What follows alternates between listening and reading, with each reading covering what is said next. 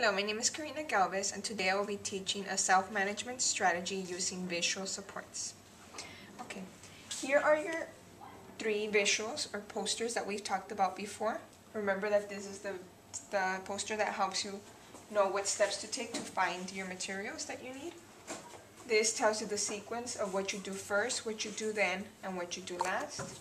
And if you're stuck, these are the steps you need to take before you seek adult help. Remember, all of these are to help you become more independent and use your strategies before you need to seek help from an adult. Okay?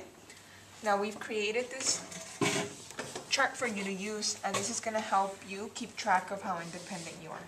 Okay? You're going to have one of these in your desk. You're going to be able to write your name and your date every single day. It's called on task behavior check form. So you're going to check yourself, your behavior, see if you're on task. Okay?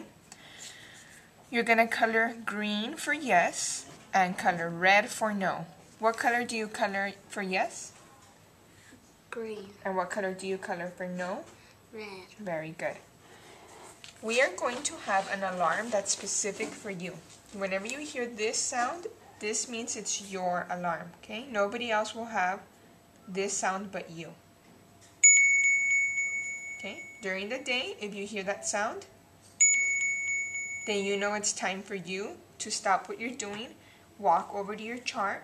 You might have it inside your desk. So if you're at your desk, you just pull it out. If you're at the library, you walk over to your desk, you pull it out.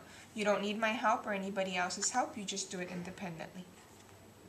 It's going to ring five times a day. Your options are do I have materials I need out? If you have your materials, you color green. If you didn't have your materials ready, you color no for red. The next question is, was I in the right place, like my desk or the library? If you're at the right place, you color green for yes, red for no. And last, was I on task and doing my work independently? No one was helping me. If the answer is yes, you color green. If the answer is no, you color red. Any questions? Yeah. Okay.